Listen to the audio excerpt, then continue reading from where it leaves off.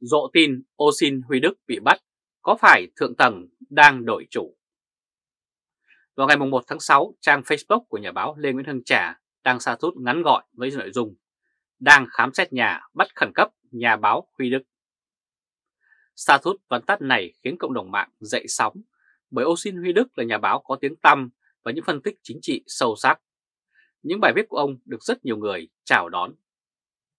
Lâu nay, nhà báo Lê Nguyễn Hưng Trà được xem là chim báo bão bởi những thông tin mà nhà báo này loan tải thường là những tin rất khả tín từ trong nội bộ cung đình của Đảng Cộng sản Việt Nam. Những tin cô đưa ra thường là đi trước báo chí nhà nước hoặc là những thông tin nhạy cảm mà báo chí nhà nước không được phép đăng tải. Như vậy là khả năng cao là nhà báo Ô Xin Huy Đức tức là Trương Huy Sang đã bị bắt 12 tiếng sau khi nhà báo Lê Nguyễn Hưng Trà đưa tin trên trang Facebook cá nhân có tích xanh của nhà báo Huy Đức thì đã bị khóa luôn.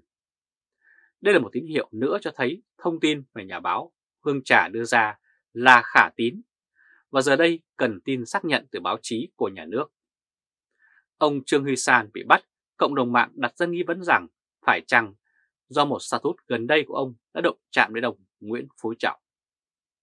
Trong status ấy, nhà báo Huy Đức thẳng thừng chỉ trích chế độ và nêu đích danh Tổng Bí thư Nguyễn Phú Trọng. Do đó, nhiều người nghi ngờ ông Nguyễn Phú Trọng là người ra tay trong vụ bắt bớ này. Tuy nhiên, vấn đề lại không hề đơn giản. Có thể còn rất nhiều yếu tố khác cần đem ra phân tích, mổ xẻ để biết nguyên nhân và sáng tỏ thêm sự thật. Trong một status khác, trước khi bị bắt, ông Trương Huy Sang đã tập hợp lại một số status cũ từ nhiều năm trước, kèm theo lời bình. Nếu nói ông vì chỉ trích Nguyễn Phú Trọng mà bị bắt thì đáng ra ông phải bị bắt từ lâu rồi. Tại sao đến nay ông mới bị bắt đầy? Cũng cùng một loại nội dung nhưng trước đây không bắt, nay thì lại bắt. Đây là điểm đáng ngờ. Thời điểm nhà báo Huy Đức bị bắt trùng với thời điểm mà thượng tầng chính trị có sự xáo trộn rất lớn.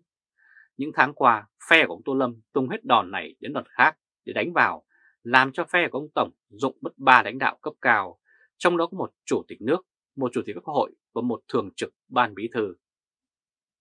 Đây là trường hợp chưa từng có tiền lệ, làm cho vị trí chủ tịch nước bị bỏ trống gần 2 tháng, sau đó mới được công bố người thay. Nhưng sau khi đã được vị trí ghế chủ tịch nước, chủ tịch quốc hội và thường trực ban bí thư thì giờ đến đến giai đoạn tranh giành chức Bộ trưởng Bộ Công an là một chức rất quan trọng của Đảng Cộng sản khi Bộ Công an nắm hồ sơ đen của các quan chức khắp nơi. Mới đây, thông tin do gì cho biết phe Tô Lâm đã tiến thêm một bước tới, đó là đưa được Nguyễn Duy Ngọc vào vị trí tránh văn phòng Trung ương Đảng, vị trí được xem là người gác đền cho Tổng Bí thư Nguyễn Phú Trọng. Với vị trí mới này, cộng với hồ sơ đen về các sân sau của các thành viên Ban Bí thư, Nguyễn Duy Ngọc có thể giám sát và không loại trừ là có thể điều khiển được một số thành viên của Ban Bí thư. Đây được xem là bước tiến mới trong con đường củng cố quyền lực của ông Chủ tịch nước Tô Lâm. Đây cũng là dấu hiệu cho thấy thượng tầng chính trị đang có hướng chuyển dịch quyền lực từ văn phòng Trung ương Đảng sang phủ chủ tịch. Việc dịch chuyển quyền lực này đồng nghĩa với việc bắt nhà báo Huy Đức thì rất có thể chính là thế lực mới này đã ra tay.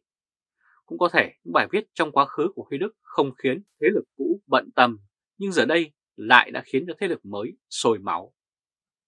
Trong tình hình chính trị thượng tầng đang bất ổn như hiện nay, mọi cách ứng xử của chính quyền đều có thể thay đổi theo, không theo lẽ thường. Và với việc thế lực công an ngày càng lớn mạnh, thì tình trạng bắt bớ sẽ ngày một khốc liệt hơn rất nhiều. Quý vị và các bạn vừa theo dõi chương truyền hình trực tiếp của Thời báo chấm với bản tin Dộ tin Osin Huy Đức bị bắt có phải thượng tầng đang đổi chủ hay không? Quý vị và các bạn hãy chia sẻ video này cho nhiều người biết và bấm nút theo dõi YouTube và Facebook của Thời báo chấm để luôn được cập nhật những bản tin mới nhất, nhanh nhất và trung thực nhất. Từ Berlin, Cộng hòa Liên bang Đức chào các bạn và hẹn gặp lại các bạn ở bản tin lần tới. Trung Khoa Thời báo chấm Ra phương án A bị chính loại bỏ, tô tung phương án B, nhiệm vụ nặng nề của ông Tổng. Cuộc chiến tranh tranh giành quyền lực ở Bộ Công an vẫn chưa kết thúc. Vào ngày 22 tháng 5, Tô Lâm bị Phạm Minh Chính tung đòn bất ngờ, tước bỏ chức Bộ trưởng Bộ Công an. Đây là đòn hiểm bởi thông thường muốn tước bỏ chức Bộ trưởng Bộ Công an thì Bộ Chính trị và Ban Bí thư ra tay trước. Tuy nhiên, không biết vì sao lần này bên đảng lại không thể lấy lại chức của Tô Lâm. Sự kiện ngày 22 tháng 5 khi Phạm Minh Chính dùng quyền lực nhà nước để tước bỏ quyền của Tô Lâm là cách làm vượt mặt Bộ Chính trị. Về mặt trật tự quyền lực trong đảng, đáng lẽ Phạm Minh Chính không thể làm như vậy. Tuy nhiên, ông vẫn làm mà không những không bị kỷ luật, có khi lại được hoàn ngành. Bởi Phạm Minh Chính đã ra tay cứu Bộ Chính trị một bàn thua trông thấy. Bởi không ai trong Bộ Chính trị muốn Tô Lâm vừa nắm chức Chủ tịch nước lại kiêm luôn chức Bộ trưởng Bộ Công an, đầy quyền lực với hồ sơ tham nhũng của các đồng chí trong đảng. Kế hoạch kiêm nhiệm cả Chủ tịch nước và Bộ trưởng Bộ Công an xem như là phương án A của ông Tô Lâm. Phương án này đã bị Phạm Minh Chính làm cho thất bại, thảm hại và rất bất ngờ. Khi nhiều người đang vui mừng ra mặt trước thất bại của Tô Lâm, thì mới đây ông tung ra phương án B giành vị trí Bộ trưởng Bộ Công an về tay đàn em Hưng Yên của ông.